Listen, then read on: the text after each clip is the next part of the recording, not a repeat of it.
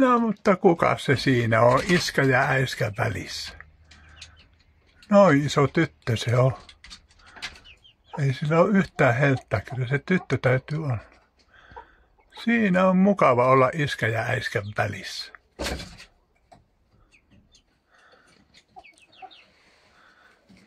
Noin mä panen.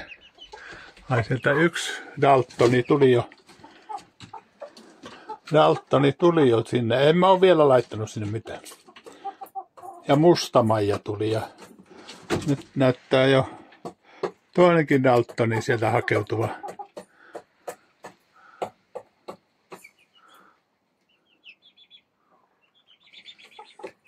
Tiu, tiu, tiu, tiu.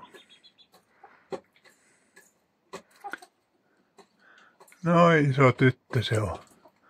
Ai että. Joskus teki ihan tuommoinen ensimmäisen munan, niin se oli semmoinen pikkurillin pään kokoinen, ihan pieni, se oli nätti. Perkele ei, se oli vasta harjoitusmuna. No niin, mä annan vähän nokittavaa. Halipat suijaa.